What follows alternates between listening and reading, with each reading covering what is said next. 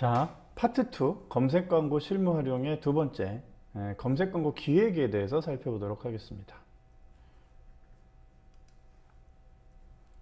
어, 검색 광고 기획 프로세스는요, 먼저 환경을 분석하고 목표를 설정하고 매체를 전략 매체 전략하고 그 다음에 일정을 계획하고 예산을 책정하는 이 프로세스로 되는데요. 첫 번째 환경 분석은 뭐 경제 현황이라든가 시장 트렌드라든가 경쟁사 상황이라든가 target user들을 분석하는 것을 말하죠. 그 다음에 목표 설정은 검색 광고를 통해서 얻고자 하는 목표를 구체적으로 설정하는 것이 중요하고요. 매체 전략은 매체별로 검색 광고 상품이나 노출 지면, 키워드, 광고 소재 같은 것들을 정리하는 걸 말하죠. 일정 계획은 검색 광고 노출 시간과 뭐 전체적인 일정, 뭐 캠페인 어, 뭐, 뭐 얼마나 지속할 것인가 그런 것들을 살펴보는 거죠. 예산 책정은 연간, 월별 또 얼마의 예산을 투입을 해서 성과를 낼 것인지 이런 걸 살펴보는 것을 말합니다. 자, 검색 광고의 사전 준비로는요. 검색 광고는 일단 아, 고객들이 검색할 것으로 예상되는 키워드들을 발굴하는 것이 되게 중요하죠. 그래서 어, 어떤 키워드들을 어, 그 등록하고 또 사이트 유입을 통해서 얻고자 하는 것들을 이렇게 좀 어, 계획을 세우는 게 되게 중요해요.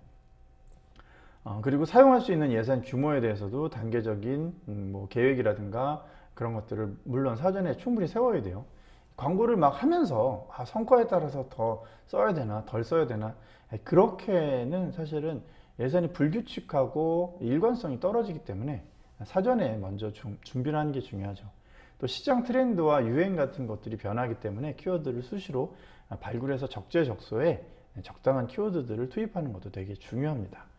자, 그러기 위해서는 이제 여러 가지 방법들이 있는데 첫 번째로 어, 사용자의 패턴을 분석할 필요가 있어요. 사용자들은 어떤 그 제품을 소비하거나 또 구매할 때 기능적인 욕구와 감각적인 욕구 또 상징적인 욕구를 가지고 있다고 해요. 어, 기능적인 욕구는 제품을 통해서 편익이나 유용성을 충족시키는 욕, 욕구죠. 예를 들어 지우개다 하면 이쁜 지우개도 있겠고 뭐 기념품 같은 지우개도 있겠지만 어, 기능을 추구하는 음, 사람이라면 특히 학생들이라고 하면 잘 지워져야 되겠죠. 이런 게 이제 대표적인 기능적인 욕구고요. 감각적 욕구다라고 하면 이 제품을 사용하는 과정에서의 즐거운 느낌이나 경험, 감성 이런 정서적인 만족감 같은 것들을 욕구하는 거예요. 예를 들어 이제 이빨을 닦는다 하면 치아가 잘 닦이는 것도 중요하겠지만 입안이 상쾌해지는 그런 느낌도 감각을 욕구시키 욕 감각을 충족시킬 수 있는 방법이겠죠.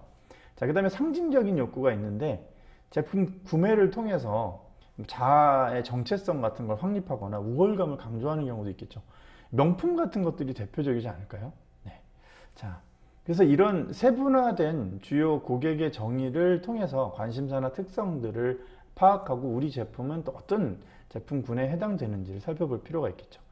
국가 통계 포털 같은 데 보면 성별, 연령별 인구수나 각종, 각종 통계 지표 같은 것들이 있습니다.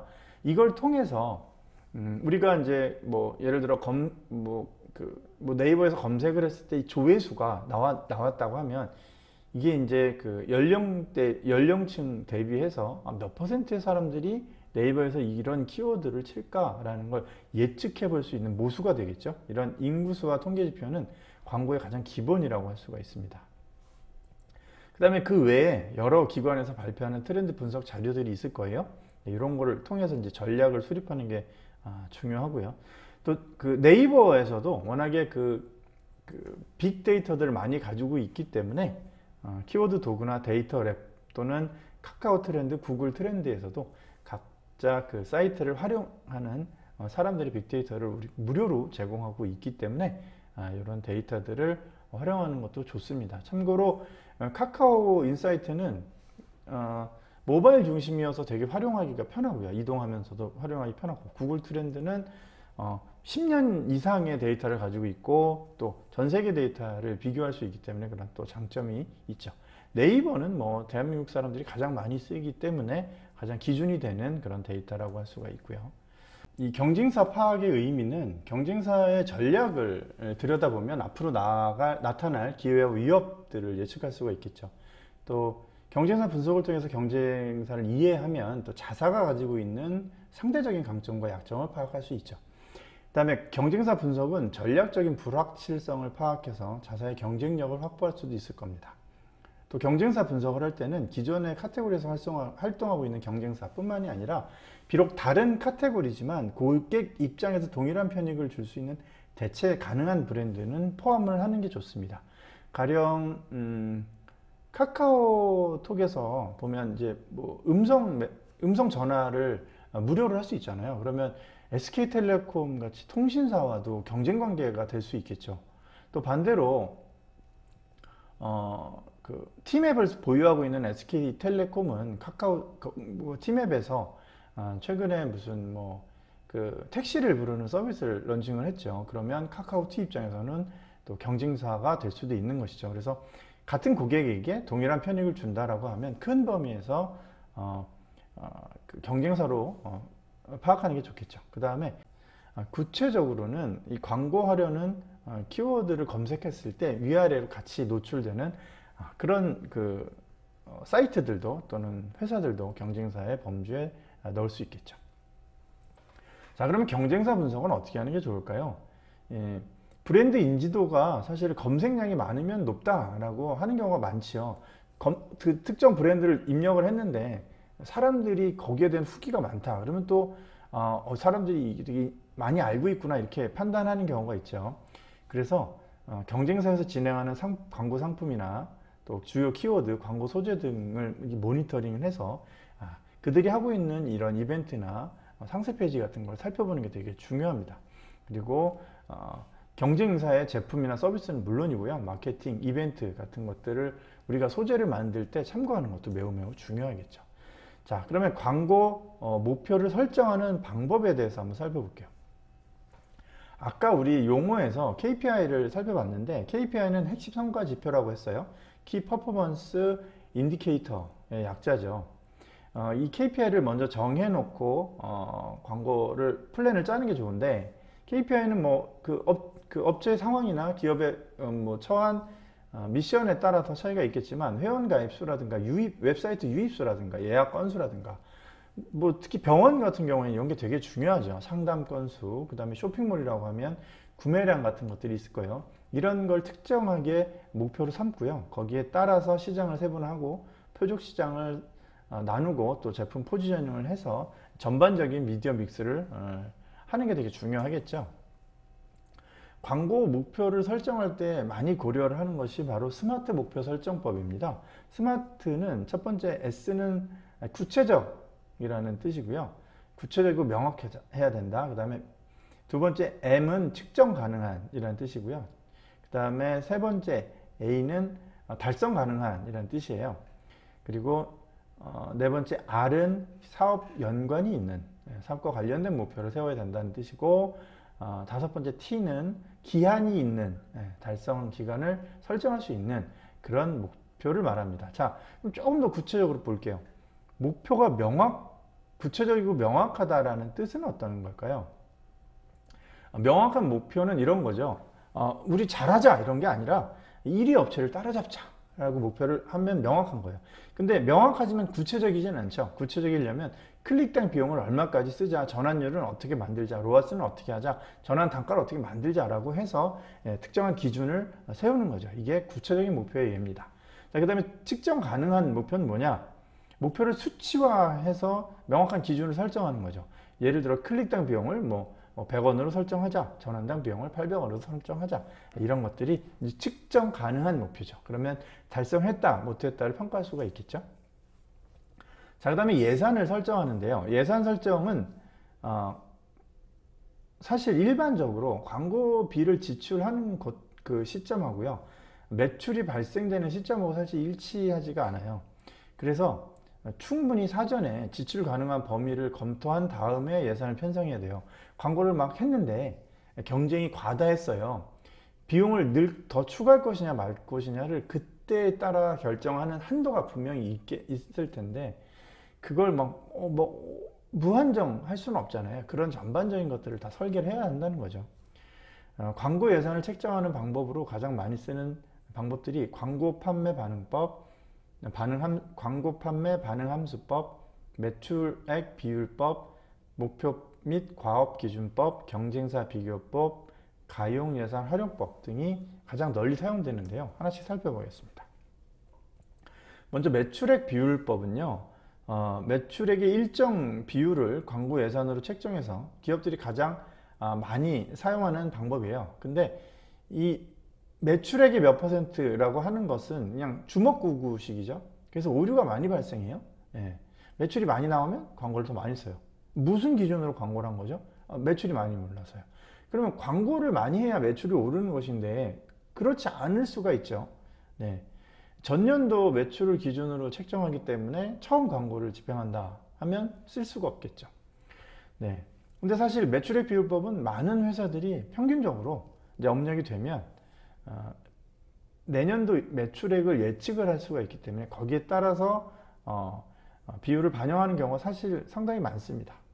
경쟁사 비교법은요, 어, 누가 더 많이 노출하느냐에 따라 이 광고 점유율이 예, 차이가 나기 때문에 예를 들어 이제 아까 우리가 뭐 1위를 하자 뭐 이런 목표를 세웠다고 할까요? 그러면 1위인 업체가 광고를 얼마나 하느냐에 따라서 우리도 얼마만큼의 예산을 쓰겠다라는 결정하는 거죠. 네. 경합이 예상되는 키워드를 중심으로 가격을 조사하고 순위를 조절을 하면 어, 예상 금액을 편성할 수가 있겠죠. 경쟁사 비교법도 사실은 굉장히 많이 쓰는 방법 중에 하나입니다. 어, 광고회사에서 특히 광고 예산을 어, 제한을 할때 음, 목표가 있을 거예요. 우리 3위 정도 하자 아니면 업계에 막 2위로 올라가자 지금 2위인데 1위를 하자 그러면 전반적으로 1위하고 3위의 광고량을 비교를 해서 예산을 책정하죠 가용 예산 활용법은 다른 곳에 다 쓰고 남은 돈을 광고에 쓰는 거예요 어, 제한, 자금 사정이 되게 제한적이었고 설비 투자가 많은 회사들이 이제 주로 쓰겠죠 어, 그래서 장기적인 마케팅 계획 수립에는 어, 부적절해요 어떤 기업이든 남는 돈으로 광고하는 경우는 없습니다. 예. 차라리 그걸 가지고 직원 복지에 쓰자 이렇게 이야기하는 사람들이 굉장히 많거든요. 네. 그리고 이제 뭔가 공격적으로 하겠다 하는 회사도 적절하지 않아요. 광고를 위한 아, 마케팅 비용을 따로 책정을 해놓고 나머지를 짜야 되는데 이건 광고를 비용으로 어, 생각하는 가장 일반적인 상황인데 광고는 비용이 아니라 자산이라고 생각을 하는 게 옳습니다. 그래서 광고를 많이 해서 점유율을 높이고 그걸 통해서 매출을 끌어올리는 것이 바람직한데 가용 예산 활용법은 그렇지 못한 방법이죠. 자, 그 다음에 목표 과업법인데요. 목표 및 과업 기준법이라고도 하고 목표 과업 예산법이라고도 부르는데요. 광고 목표를 달성하기 위해서 어, 광고비를 추정하고 예산을 편성하는 방법입니다. 매우 매우 논리적이죠. 음.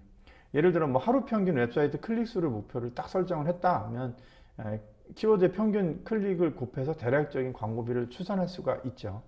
또 광고를 집행했던 이력이 있다라고 하면 아, 과거의 광고비, 클릭 비용, 클릭수, 전환 성과 같은 데이터를 기반으로 해서 예산을 추정할 수 있겠죠. 그래서 목표를 딱 정하고 거기에 맞춰서 역으로 아, 비용을 설정하는 거죠. 그래서 이거하고 어, 매출액 비율법이랑 비교를 해서 적정 예산을 아, 편성하는 경우가 상당히, 상당히 많습니다. 자, 광고 판매 반응 함수법인데요. 이거는 과거 데이터를 통해서 광고 지출 및 이에, 이를 통해서 어, 판매 반응을 하는 경우가 있었다. 이런 함수가 있다라고 하면 한 개 이익이 뭐예요? 하나 팔스, 하나, 하나 팔았을 때 얼마의 비용을 넣고 얼마의 이익을 얻느냐 이런 거잖아요. 이걸 계량화해서 비용이 많이 들어가도 매출이 안 나올 때가 있는데 어느 순간에는 비용을 들이는 것보다 매출이 더 많이 나올 때가 있을 거예요. 광고가 누적적으로 그 효과가 쌓이니까요. 아, 그 시점을 딱 찾아서 그만큼의 돈만 광고에 쓰면 얼마나 좋을까요?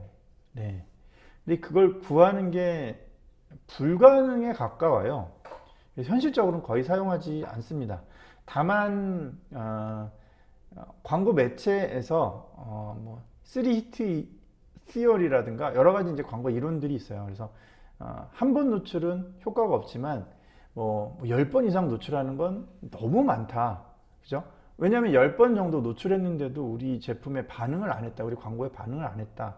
하면 그 사람은 아예 우리 제품에 타깃이 아닐 가능성이 높다라는 거죠.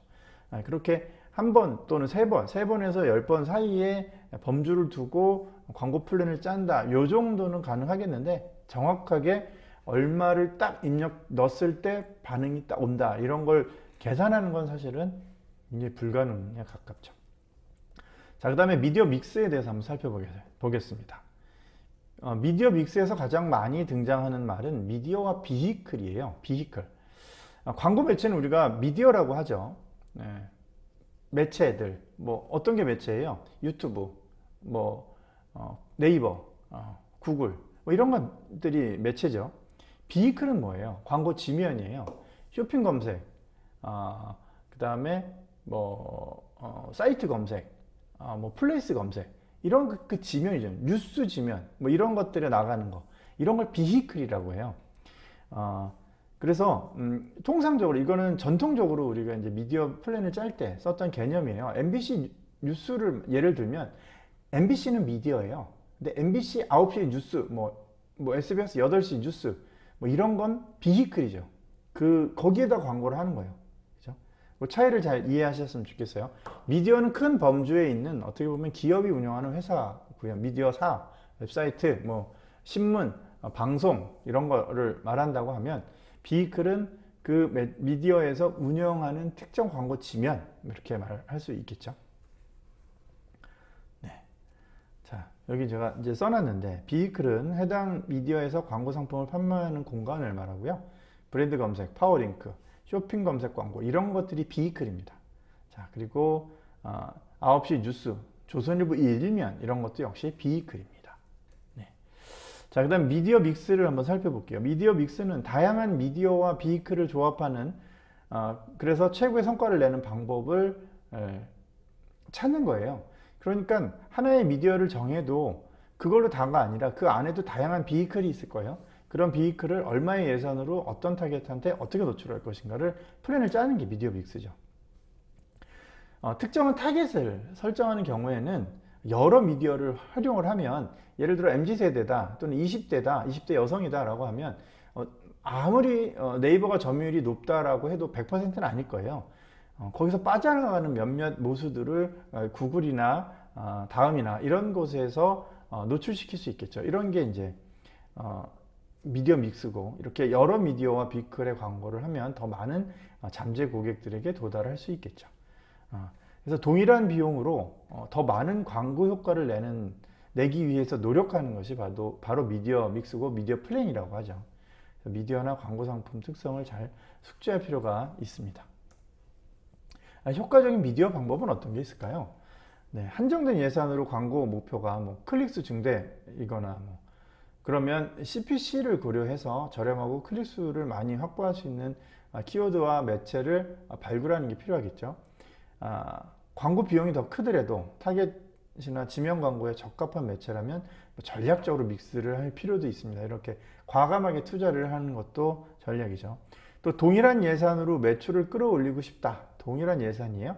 로아스가 높은 어, 매체 위주로 예산을 편성하는 것이 좋습니다. 로아스는 뒤에서 아주 심도 있게 다룰 텐데요. 어, 로아스가 높은 매체라는 게 뭘까요? 로아스는 기본적으로 100%를 기준으로 합니다. 로아스 100%다 하면 100원을 썼을 때 100원을 버는 거예요. 그러면 로아스가 80이다, 80%다 하면 뭐라고 할까요?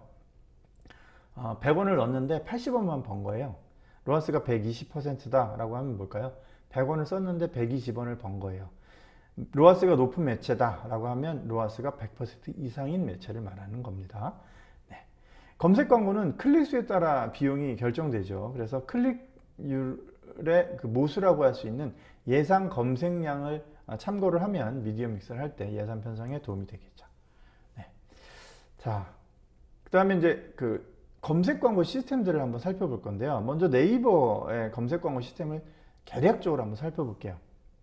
어, 네이버는 사이트 검색 광고, 쇼핑 검색 광고, 컨텐츠 검색 광고, 브랜드 검색 광고, 플레이스 광고, 지역 소상인공인 광고 같은 것들을 관리하는 시스템을 운영하고 있어요. 어, 또 과거에는 어, 광고 관리 시스템이라고 해서 구 이렇게 해서 떴던 게 있어요. 클릭 초이스 플러스나 클릭 초이스 상품 광고들을 했던 어, 관리 화면 관리 시스템인데 이제 2022년 11월 30일부로 종료됨에 따라서 더 이상 사용하지 않습니다. 어, 네이버 검색 광고 시스템의 구조를 잠깐만 살펴보면 광고주로 가입을 해야 되고요. 사업자는 최대 5개의 계정 생성이 가능하고요. 개인은 총 2개입니다. 네. 그래서 계정 생성이 가능하고요. 어, 구조를 보면 이제 거의 모든 그, 그 광고 시스템이 비, 비슷하게 생겼는데요. 어, 광고 계정을 하나 만들어야 돼요. 네. 대행사를 쓰더라도 여러분이 만드신 계정을 대행사한테 넘겨주셔야 됩니다. 주인공은 광고주예요. 그리고 어떤 목적으로 하느냐가 캠페인이라고 합니다. 뭐 신학기 캠페인, 뭐 봄철 캠페인, 가을 캠페인, 뭐 뭐 뭐 재고 뭐 캠페인 뭐 이렇게 캠페인들 있죠. 그걸 목적에 따라서 나누고요. 그 다음에 그 목적에 따라서 그룹을 다시 나눌 수가 있어요. 뭐 바지, 뭐 치마, 뭐, 뭐, 뭐 모자 이렇게 품목별로 그룹을 나눌 수가 있고 거기에서 어떤 고객들한테 무엇을 보여주고 어디로 데려가는가를 키워드와 문안을 적절하게 연결해서 뭐 하나의 하나의 문화 한 하나의 키워드에 하나의 문안만 들어갈 필요는 없고요. 키워드와 소재를 이 오른쪽에 있는 걸 소재라고 하는데 소재를 적절하게 믹스를 해서 등록을 해 놓으면 예전에 등록했던 것들을 다시 불러와서 특정 키워드에 연결을 해서 이 그룹에도 넣을 수 있고 저 그룹에도 넣을 수 있고 이렇게 해서 성과를 끌어올리고 어, 느 게 더 잘 팔리는지 이렇게 그룹별로 캠페인별로 어, 고려해 볼 수 있겠죠. 그래서 모든 어, 대부분의 광고 시스템은 광고 계정을 기반으로 캠페인 그룹, 키워드, 또 소재, 문안과 URL 소재라고 하는데 소재로 연결되어 있고요. 여러 개씩 만들 수 있고 잠깐 뭐 봄철에 만들어 놨어요. 근데 지금은 여름이에요. 그러면 캠페인을 닫아 놓을 수 있겠죠. 어, 밑에서부터 다 닫아 놓으면 되게 번거롭죠. 그래서 캠페인 단에서 닫아 놓을 수도 있고 어, 계절을 타긴 하는데 어, 뭐 시즌만 파는 게 있고 1년 365일 파는 게 있죠. 양말이에요. 예를 들어. 어, 그러면 뭐 양말은 놔두고 그러면 요 캠페인 열어놓은 상태에서 그룹 1은 닫고 그룹 2는 열어놓고 이런 식으로 전체를 쉽게 쉽게 관리할 수 있는 틀이라고 보시면 되겠습니다. 어, 그래서 캠페인이 있어요. 캠페인은 특정 이벤트나 계절 행사나 노출 기간이나 하루 예산 등 목적에 따라서 광고를 전반적으로 어, 관리하기 위해서 만든 광고 전략의 단위라고 어, 이해하시면 좋을 것 같아요. 그래서 광고 계정을 생성하신 다음에 광고 만들기를 통해서 먼저 캠페인부터 만들어야 그 다음 단계로 어, 넘어갑니다. 캠페인 등록한 다음에는 유용 변경이 불가능해요. 그래서 어, 삭제하고 다시 만드시거나 뭐, 뭐 굳이 삭제하지 않아도 어, 다음 다른 캠페인에서 그냥 운영하시면 됩니다. 네, 그리고 광고를 집행하기 위해서는 비즈 채널이라는 것을 반드시 등록을 해야 돼요. 비즈 채널은 우리가 다음 시간에 좀 더 자세히 살펴보도록 하겠습니다. 자, 네이버 광고 어, 전략 단위를 한번 살펴볼게요. 어, 파워 링크, 쇼핑 검색, 파워 컨텐츠, 브랜드 검색, 플레이스 광고가 있는데요. 파워 링크는 통합 검색 탭에 보이는 우리가 일반적으로 알고 있는 네이버에 검색했을 때 제일 처음에 나오는 그 링크를 말하죠. 총 15개의 광고가 노출되고 상위에 10개는 어, 파워 링크라고 하고요. 하위에 5개는 하단에 비즈 사이트라는 이름으로 노출이 됩니다. 같은 거를 15개를 10개와 5개로 쪼갰다고 보시면 돼요. 아, 쇼핑 검색은 쇼핑 영역, 또 네이버 쇼핑 검색 결과에 나오는 아, 쇼핑몰 광고입니다. 아, 네이버 쇼핑에 등록된 쇼핑몰이나 아, 스마트 스토어의 상품을 조회해서 광고가 노출됩니다. 자, 여기서 유의를 유의할 게 스마트 스토어에 등록된 자 여기서 유의할 게 스마트 스토어에 등록된 상품만 광고가 가능한 게 아니라 네이버 쇼핑에는 개인 쇼핑몰도 등록할 수가 있어요. 네, 그러면 광고가 가능합니다. 파워 컨텐츠는 뷰 영역, 모바일 컨텐츠 지면 줌 통합 검색 같은 데 노출이 되는 것이고요. 블로그에 등록한 컨텐츠가 검색 결과에 링크가 되는 거죠. 브랜드 검색은 브랜드 관련된 키워드, 무슨 뭐 나이키나 뭐 삼성이라든가 뭐 이런 거죠. 통합 결과 상단에 노출되는 거고요. 통합 검색 결과에 브랜드 키워드에 대한 한 개의 광고가 단독으로 노출이 됩니다. 자, 플레이스 광고는 통합 검색, 플레이스, 지도, 플레이스 서비스, 지도 앱 등에 노출이 되는 거고요. 아, 플레이스, 스마트 플레이스에 등록된 업체 정보가 노출이 됩니다. 자, 그 다음에 그룹이 있어요. 광고의 운영 단위인데요. 광고할 사이트를 연결하고 키워드 소재를 등록해서 광고를 운영하는 실제적인 광고 운영의 단위라고 볼 수가 있습니다. 웹사이트 매체, 지역, 노출, 노출 요일, 시간대, 하루 예산, 입찰가, 입찰 가중치, 소재 노출 방식 등 광고 전략을 설정하는 단위가 되고요. 광고 소재와 입찰 전략이 유사한 키워드를 묶어서 어, 그룹으로 관리하는 것이 일반적입니다. 그 다음에 키워드인데요. 정보 탐색을 위해서 사용하는 검색어고요.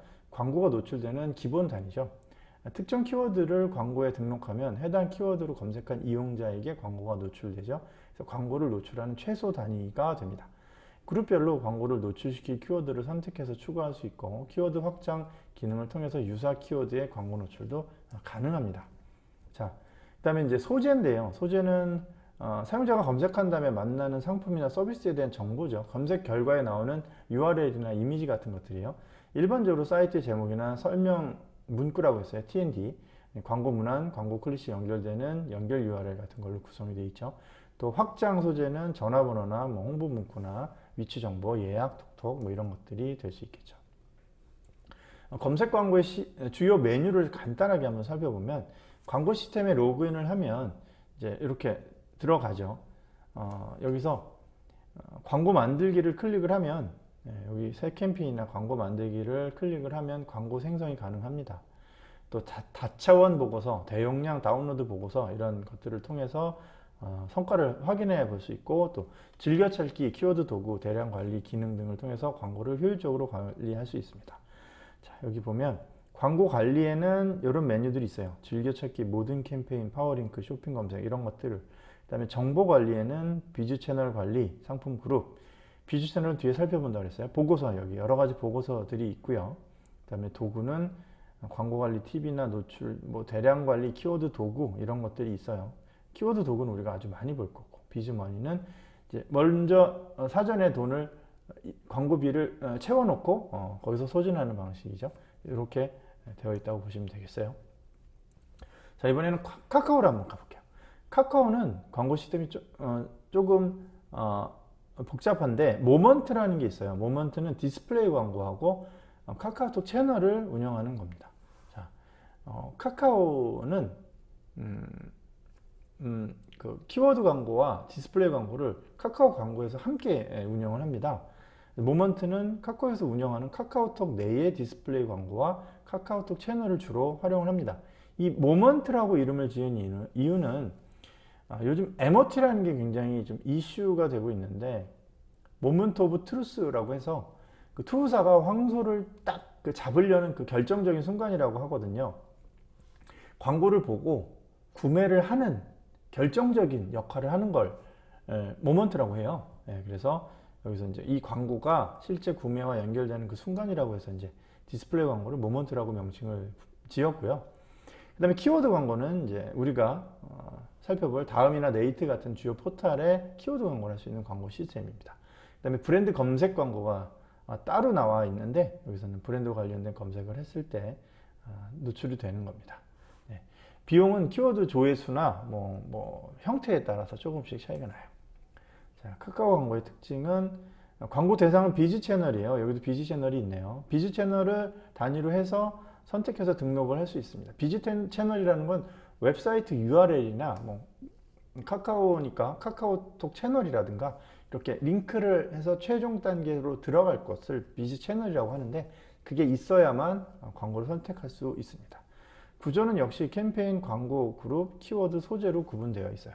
근데 이게 그 카카오가 다른 곳이랑 조금 달라서 간혹 가다가 이런 걸로 출제를 하는 경우가 있는데 보통은 캠페인과 광고 그룹 그리고 키워드 소재를 함께 묶는 경우가 많은데요.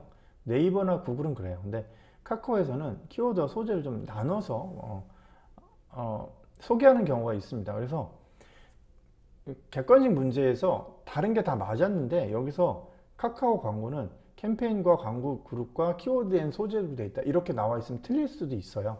이것도 염두에 두셔야 돼요. 왜 그러냐면 여기 보시면 어, 캠페인, 광고 그룹, 키워드, 소재 이렇게 되어 있기 때문이에요. 다른 웹사이트들은 어, 이렇게 되어 있지 않습니다. 그냥 이렇게 어, 소재라는 게 따로 구분되어 있지 않은 경우가 많은데 여기는 이렇게 구분되어 있다는 것 좀 유념해 두셨으면 좋겠어요. 캠페인은 광고의 전략 단위라고 말씀드렸어요.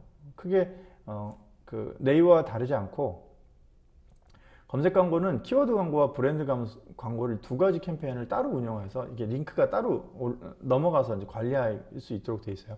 로그인은 되어 있으나 그 관리하는 그 사이트가 다르다는 거예요.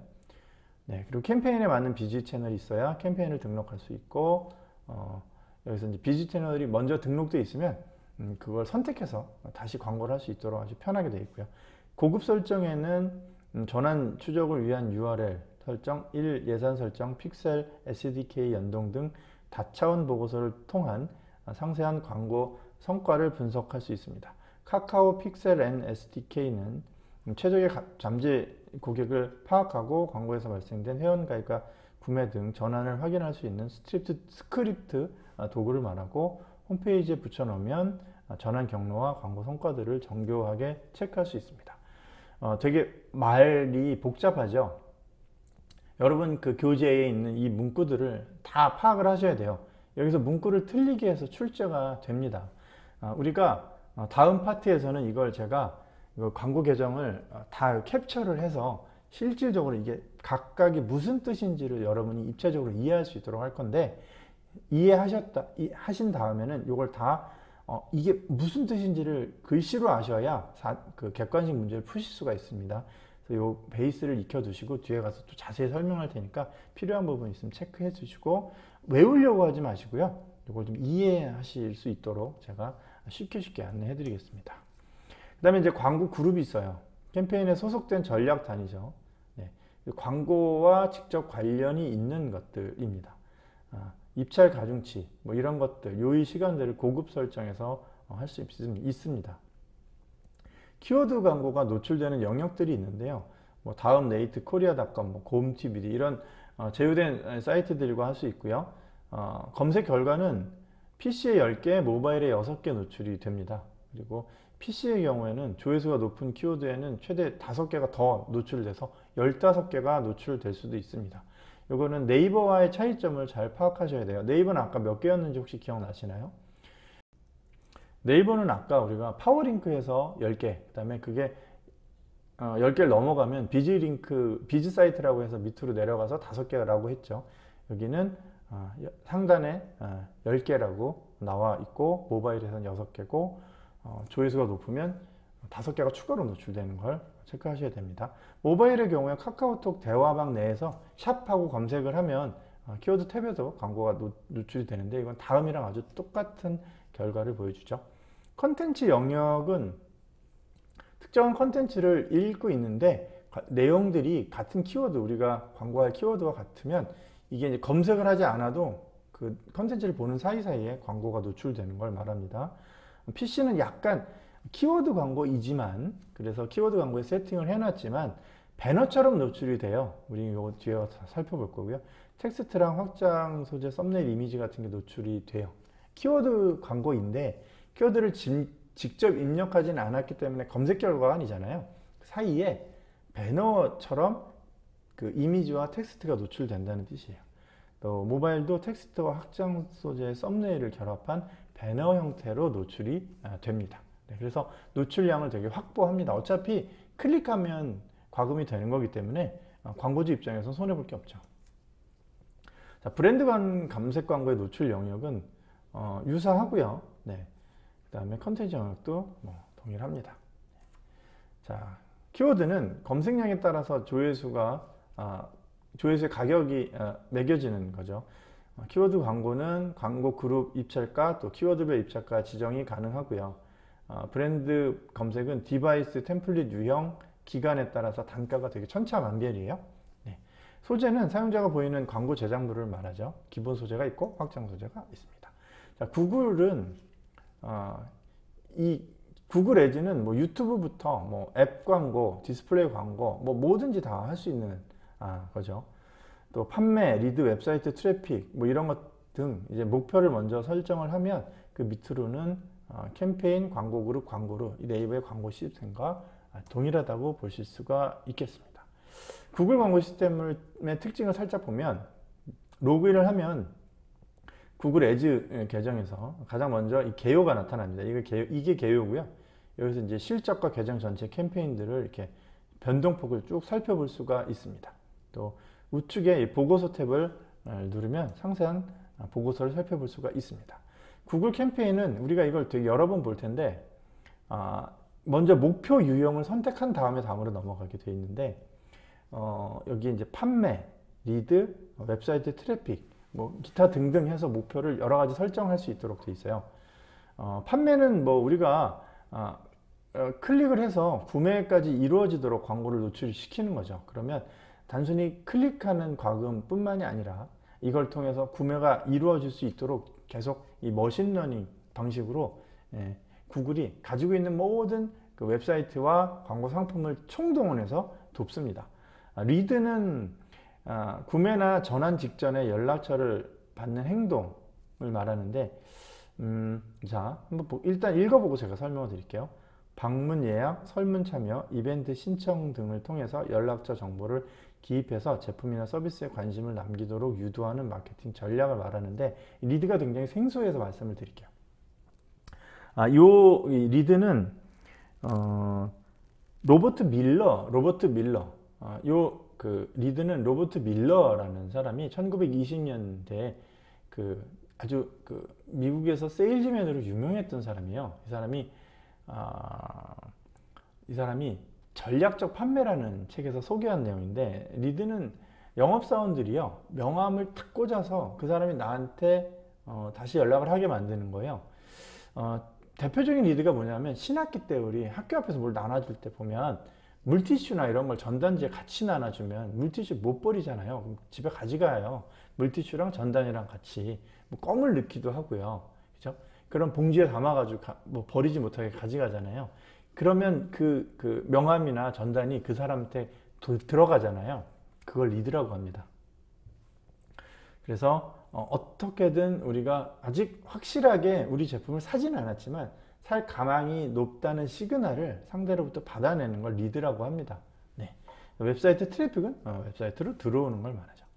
자, 광고 그룹은 어, 캠페인 내 광고 그룹에 유사 광고를 묶어 가지고 어, 연관성 있는 아, 연, 광고 캠페인 내에 그룹을 아, 캠페인 내에 그룹을 만들어서 유사한 그룹끼리 예를 들면 화장품이 화장품 바지면 바지 치마면 치마 모자면 모자 이렇게 해서 어, 음, 광, 키워드를 한꺼번에 관리하는 거죠.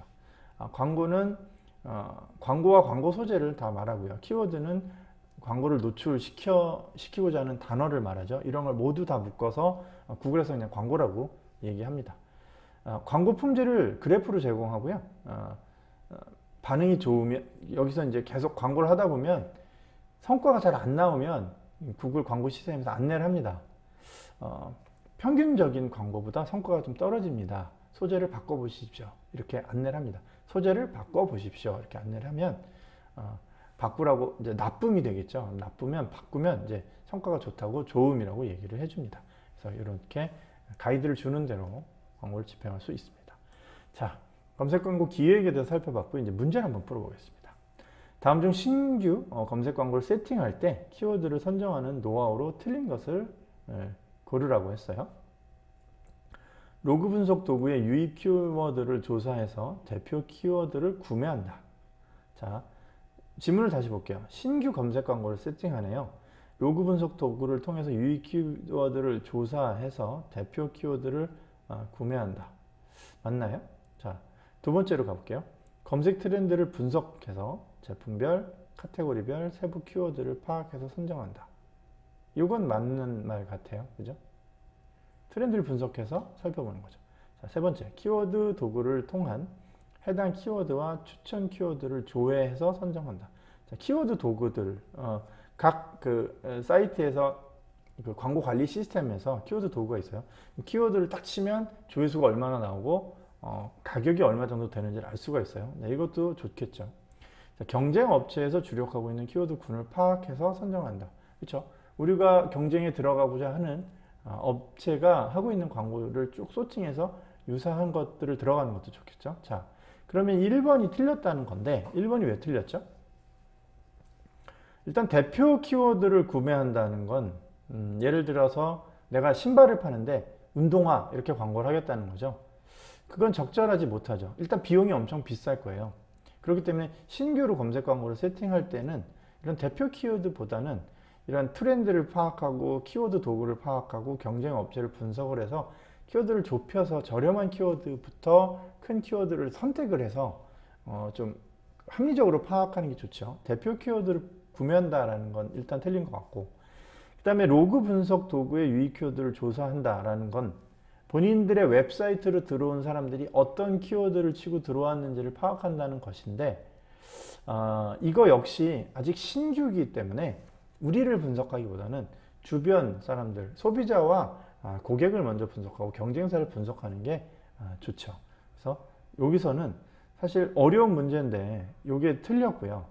정확하게 이 로그 분석을 통한 유입 키워드는 어, 논란의 여지가 있을 수 있으나 대표 키워드를 구매한다가 확실히 틀린 문, 틀렸습니다. 네, 이거 좀 어려운 문제예요. 이런 건. 자, 그 다음에 아래 내용이 설명하는 알맞은 예산 설정 방법은 무엇인가 살펴볼게요. 가장 논리적인 광고 예산 편성 방법이다. 처음 광고를 집행한다면 하루 평균 웹사이트 클릭수의 목표를 설정하고 사용하려는 키워드의 평균 클릭률을 아, 클릭 비용을 곱하면 대략적인 광고비를 추정할 수 있다. 광고를 집행한 이력이 있다면 과거의 광고비, 클릭 비용, 어, 클릭수 전환 성과 데이터를 기반으로 목표에 따라 예산을 추정할 수 있다. 광고 목표를 달성하기 위해 아, 광고비를 추정하여 예산을 편성하는 방법이다. 네. 뭐죠? 네. 먼저 광고 판매 반응 함수법은 뭐예요? 어, 적절한 광고비와 최고의 성과를 낼 수 있는 적절한 그 함수를 파악하는 거죠. 여기 함수 얘기는 없죠. 네. 이건 아니고. 목표 과업법. 예, 이 목표 과업법에 관한 내용이네요. 목표란 말도 몇 번 나왔고, 목표를 달성하기 위해 광고비를 추정하는 방법이죠. 매출액 비율법은 뭐예요? 매출액이 얼마면 그 중에서 몇 퍼센트를 광고비를 쓰겠다. 이런 거죠. 자, 그 다음에 가용 예산법은 뭐였죠? 네. 예산이 다른 거 다 쓰고 인건비 내고 집세 내고 뭐 이것저것 다 하고 그래도 남으면 그때 광고하겠다. 이게 과용 예산법이었죠. 정답은 2번입니다. 자, 세 번째. 어, 광고 매체는 미디어와 비이클로 나눠진다. 다음 중 비이클에 해당하지 않는 것은 어, 무엇인가? 비이클에 해당하지 않는 거네요. 어, 그럼 비이클을 찾아봐야겠네요. 비이클. 브랜드 검색, 비이클인가요? 비이클하고 미디어 우리 기억나세요? 자, 우리 지금 이건 그 디지털 광고니까, 검색 광고니까. 미디어에 해당되는 거는 뭐예요? 네이버, 어, 카카오, 어, 그 다음에 구글죠. 예. 자, 그 다음에 비이클, 비이클인데, vehicle은 브랜드 검색, 프리미엄 링크 이런 게 vehicle이죠. 플레이스 광고, vehicle이네요. 구글 Ads는요, 아, 여기 미, 미디어네요. 그죠? 미디어. 그래서 정답은 3번입니다. 네. 자, 이제 주관식 문제 한번 풀어보겠습니다. 아, 구글 Ads에만 있는 용어로 다음 설명에 해당하는 구글 검색 광고의 목표 유형은 무엇인가? 유형이 몇 가지 있었어요, 아까. 자, 구매나 전환 직전에 연락처를 받는 행동으로 방문 예약, 설문 참여, 이벤트 신청 등을 통해 연락처 정보를 기입해 제품이나 서비스에 관심을 남기도록 유도하는 마케팅 전략. 뭐였죠? 네, lead였어요. 요거 되게 우리나라에서 생소한데 외국 사이트들, 아, lead, lead였죠, lead. 아, 왜, 이게 지금 글로벌 미디어들이 lead라는 표현을 굉장히 많이 써요. 그래서 꼭 기억해 두시고요.